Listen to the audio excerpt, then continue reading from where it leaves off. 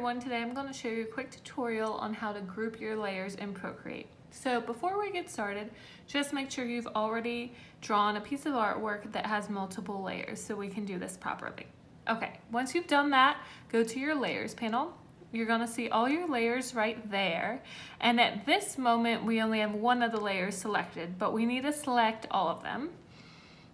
Okay, so as you can see, once you have more than one layer selected, this button appears that says group. So if we go back, you can see that button has disappeared because we only have one thing selected.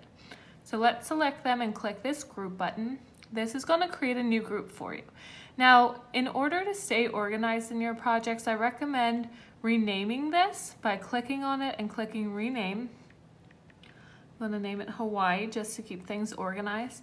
And there you have it, you have a full group. And groups are great for not only organizing your artwork, but also for selecting things because now that all of this is in one group, you can hit your transformation tool and everything can be moved around together.